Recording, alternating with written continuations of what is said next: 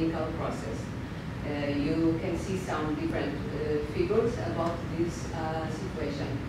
The thermal and mechanical damage uh, are the main problems associated to the drilling process uh, in bone tissues, for example. The goal of this investigation is to verify the influence of the drill bit diameter in this type of process.